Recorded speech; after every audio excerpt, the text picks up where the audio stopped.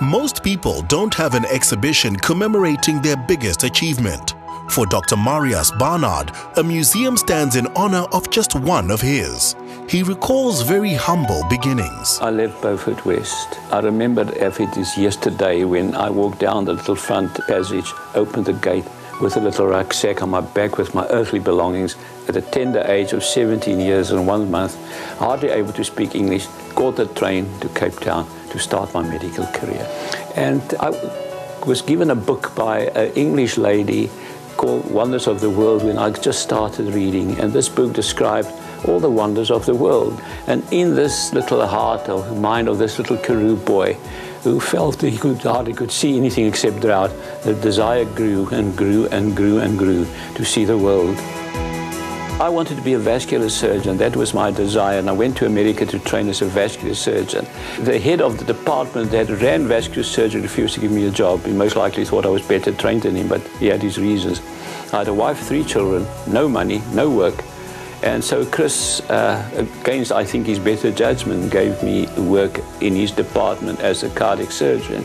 I never wanted to be a cardiac surgeon, and I never wanted to work with Chris, but circumstances forced me into it. We had open warfare between the two of us. It came from our childhood already. And as we were there, I one day was at the right place at the right time, the heart transplant. And immediately I got a position in the world. The heart transplant, of course, was an unbelievable defining moment in my life.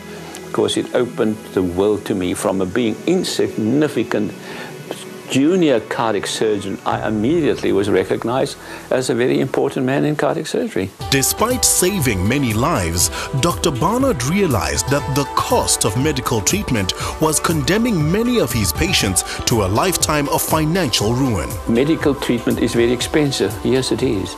But surviving is more expensive. Today, people don't die as a result of heart attack, stroke, and cancer. They survive. One of the heart transplant patients I did not at first was the youngest at that stage. Uh, his name is Paul Thiessen. He was 14 years old. He's still alive today, more than 30 years. So people survive in years, but financially they get ill and they cripple. We give quantity of life to our patients, but not always quality. And for that, you, we developed a policy that pays out not on the diagnosis of death, not on the diagnosis of disability, but the diagnosis of the disease that will result in years later expensive caring and looking after and then death.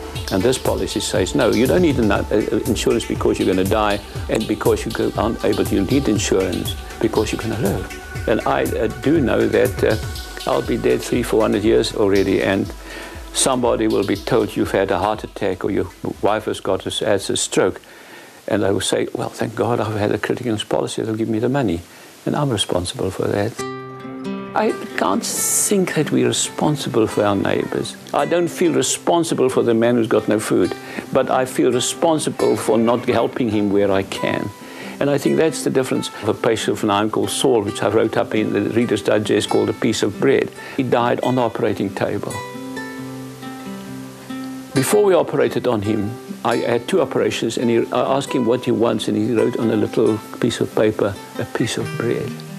So this little boy in all his desire was not money or anything, a piece of bread.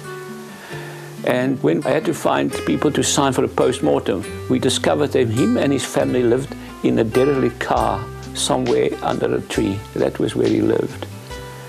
And when I finally, in the theater, realized that he was dead, I walked out and I thought, we gave him everything that modern medicine can give him. We gave him valves, we gave him treatment, the best to our ability.